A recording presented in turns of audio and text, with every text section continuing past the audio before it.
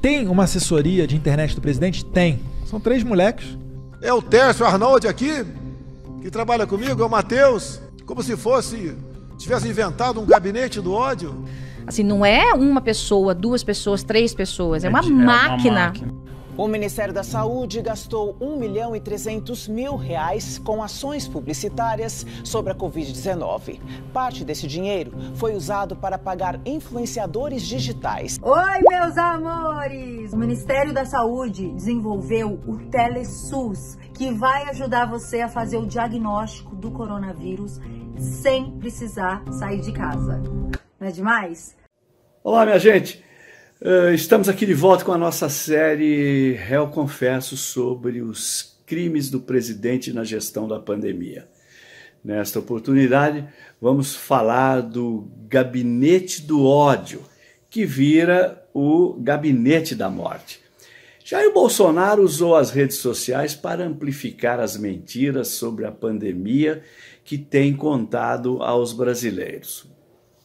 O que esperar de um governo que chegou ao poder com a ajuda de fake news disparadas massivamente pela internet, como denunciado pela Folha de São Paulo ainda antes do segundo turno das eleições de 2018?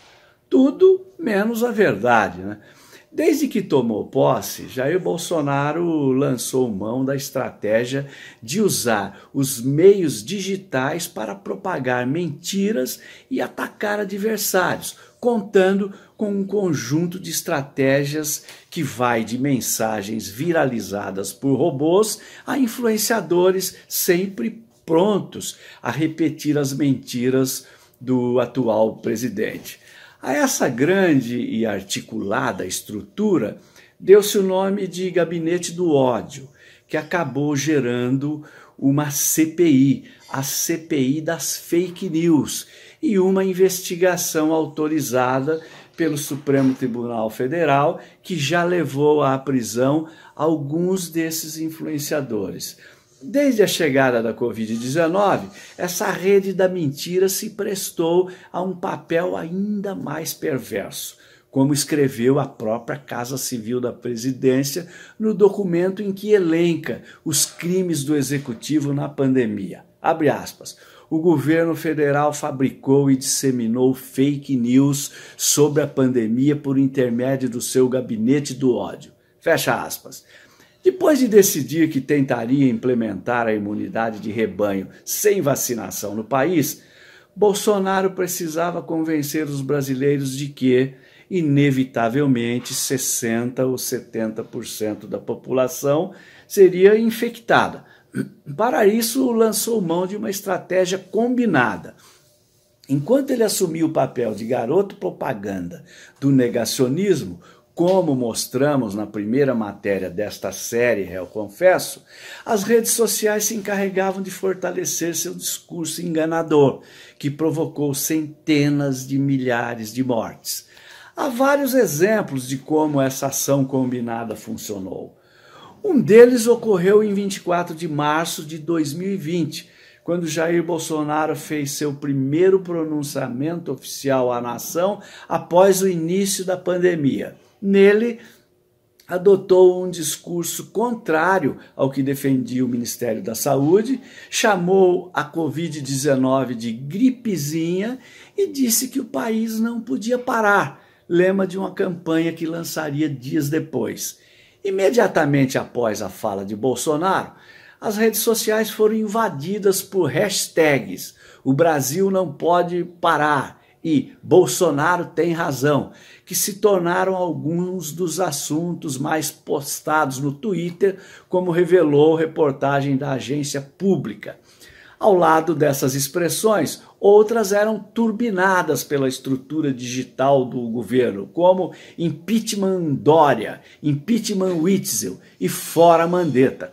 O ataque a governadores, aliás, foi uma constante, como ocorreu com o governador do Piauí, Wellington Dias, do Partido dos Trabalhadores. Outro exemplo ocorreu após o STF dar a governadores e prefeitos o direito de adotar medidas de combate ao novo coronavírus, definindo que a prevenção à Covid deveria ser realizada pelos governos federal, estaduais e municipais. Bolsonaro, então, passou a dizer de forma mentirosa que a decisão o impedia de agir. Abre aspas. O governo, o Supremo Tribunal Federal disse que os estados e municípios é que tinham de conduzir as medidas de combate ao vírus. A nós, quase que exclusivamente, cabia apenas jogar recursos para lá. Fecha aspas. Afirmou em live pela internet em 25 de junho do ano passado o presidente Bolsonaro. Nos dias seguintes, as redes sociais bolsonaristas foram invadidas por mensagens que repetiam a informação falsa. O senador Rogério Carvalho, do PT de Sergipe, membro suplente da CPI da Covid, explica que Bolsonaro não lançou uma campanha de educação da população porque decidiu implementar a imunidade de rebanho a partir de suas falas, ampliadas pelo gabinete do ódio nas redes.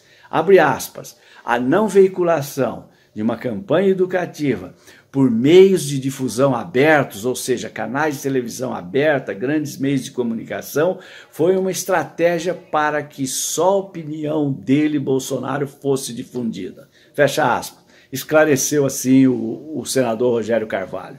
Para o senador, a CPI da Covid precisa investigar também o recurso de usos públicos em prol da desinformação e às custas de milhares de vidas. Abre aspas. Vamos descobrir como a opinião dele foi veiculada, usando dinheiro público, através de influencers e sites que chegam a determinados públicos que reforçam e reproduzem a teoria e a forma de pensar do presidente.